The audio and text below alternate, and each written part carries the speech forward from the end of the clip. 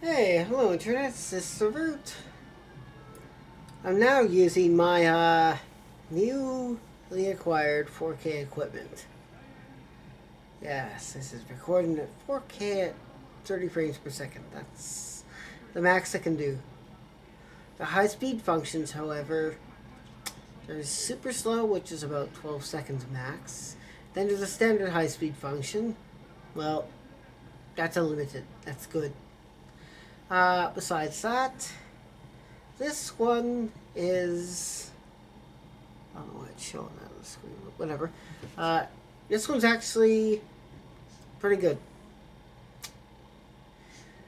It can shoot much higher frame rates at uh, 60 frames per second high definition or 4K just well.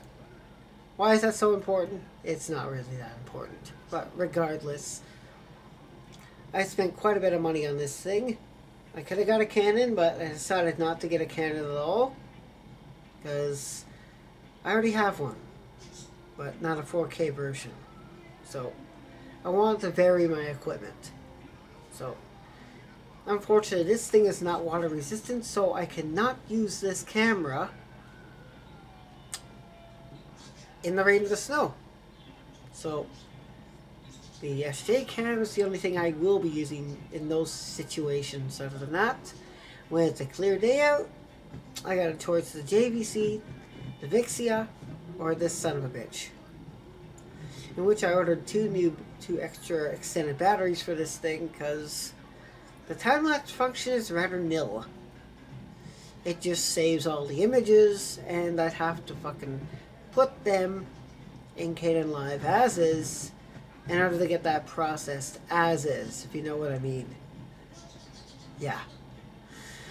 I'm not about to do that, because that takes a bit longer to do.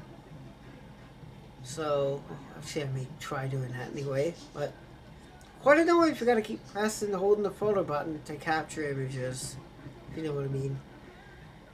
Anyways, yeah. And if you didn't notice, this is actually using the infrared night shot function. Highly effective.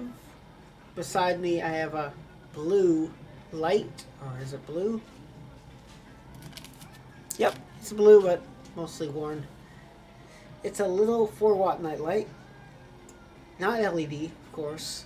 And it's obviously when I turn the filter off, it can see infrared light. So, yeah. I'm still getting to know this equipment. So, yeah.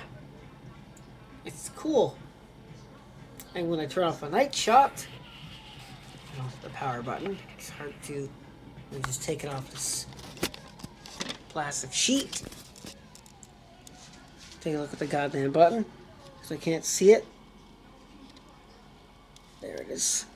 Okay, Take it off, you're going to see the filter slide down. There it is, slid down. I turn it back on, the filter's going to slide back up again. Watch. There we go. It's an automatic window that slides over the viewfinder to filter out infrared light. Kind of cool, isn't that? Although, I wish it would jam and stay up for good, because then I could see light even in the dark and not have to enable this damn function and only showing green. Does it make me look like the Hulk? I should hope not. Regardless, it gives you the green tint, which is so silly. It's also got the infrared blaster. That, no. It can also be controlled by a remote, but I didn't buy the remote. That's costly. I don't need it. Anyways, yeah. I picked this bastard up at Best Buy. And there was only a few left, so I had to uh, keep track of the stock and wait for the right time to get it. So, yeah.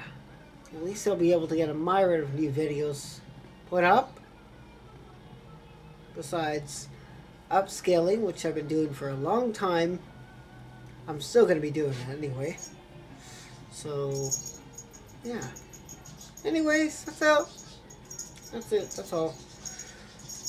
I didn't have to get another memory card for this bastard. So, that's nice. It's compatible with 4K because I made sure about it when I bought it.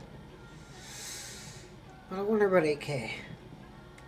No, this thing I cannot do 8K.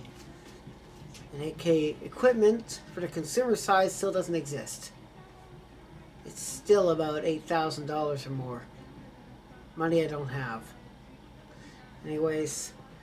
Alright, I'm gonna cut short now. I can press on the screen. Doesn't matter really, does it? Oh, and this little wheel. Zoom on the fly!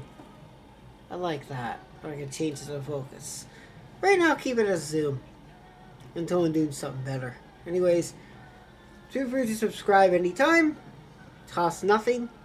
Doesn't change the fact that you can still see the videos by searching them. Yeah, we're going to my channel. Anyways, yeah. Thanks for watching.